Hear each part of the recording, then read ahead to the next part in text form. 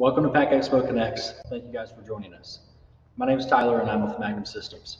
Uh, we provide a wide range of packaging machinery from standalone gross and net weight bagging scales to bulk bag filling and unloading systems, as well as semi-automatic packaging lines with robotic palletizing.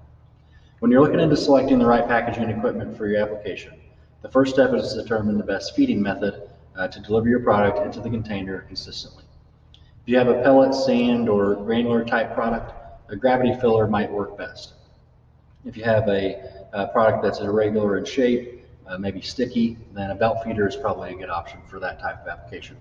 Um, if you're feeding powder products, ingredients, um, then you're going to want to use an auger type filler, and we provide various um, fillers with augers and um, to handle those type of uh, powder products. Um, lastly, if you have a more non-dusty and, and free-flowing type product, then a vibratory filler is, is probably going to be the best option for your, for your application. Uh, products that are, are fed in vibratory type um, fillers and that we've had good success with um, are any, uh, any type of bird feed blends, pet foods, um, pretzels, nuts, granola.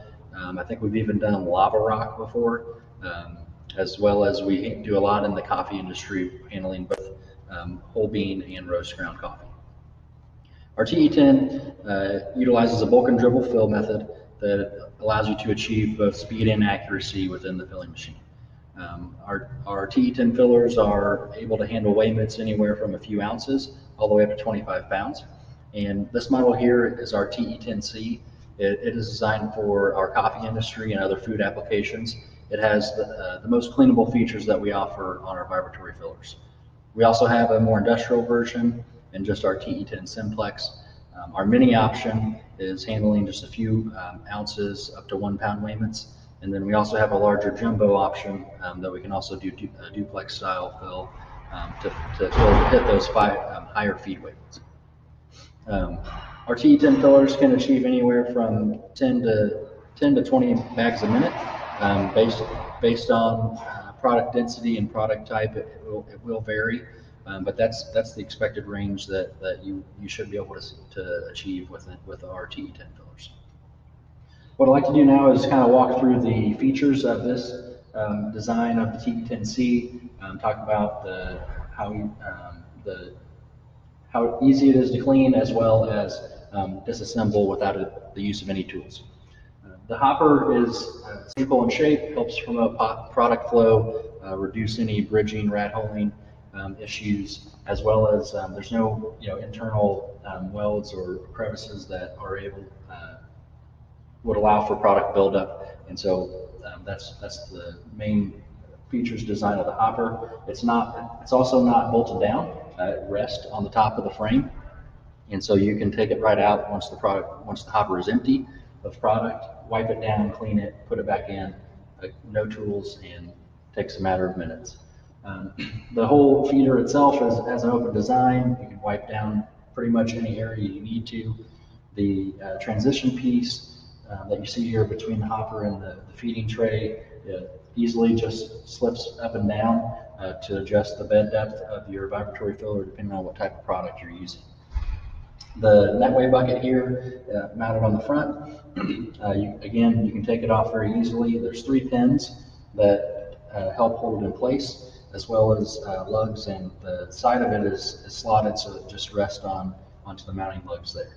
Um, this is also where the load cell comes into play and uh, gives a signal back to the weight controller to um, help monitor the, the fill weights. Um, the transition piece here and two-piece spout also comes right off. The frame is slotted um, with the lugs on it, so again, it just rests in place. A quick clamp here for your spout. We offer different spout sizes depending on the bag weight that you um, are trying to fill, um, as well as uh, different uh, shapes. So if you have a, I think we've even done small um, square spouts for little um, coffee filling applications. But um, so that's kind of the, the range of, of, features that allow this to be cleanable and um, easily um, maintenance.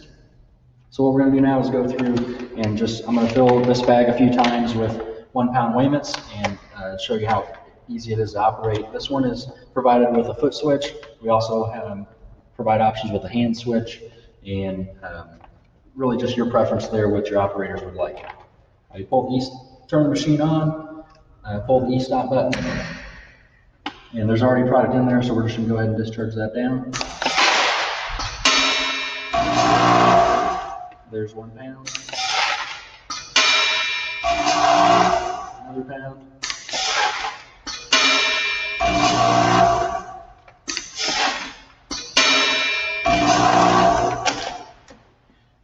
Very easy to operate. Um, as soon as you fill, as soon as you dump one, um, uh, one amount of product into the bag, then it, it automatically restarts. Um, again, so the weight controller, kind of go back to it a little bit. The it offers two set points. You, you put those set points in prior to filling. Uh, we were trying to fill one pound weights. This this machine here um, does anywhere from a few ounces up to two and a half pounds with this net weight bucket. Um, again, depending on your product, we can um, size uh, those the net weight bucket and, and feeding tray um, accordingly to, to get the best results. Uh, we also offer uh, additional options, so we can do a vacuum uh, a vacuum loader for the hopper. We provide mobile stands with casters. Um, we can also provide bag closing equipment. And so, if you would, uh, if you have any needs for for those items as well, we can definitely help you out. Um, either specify or uh, provide those to you. Um, so what I'd like to do now is have you watch a short video on a coffee filling application. It'll give you a little bit of a feel for some of the other options that we provide with this filling machine. And um, if you have any questions after that, then we can cover cover those at that time.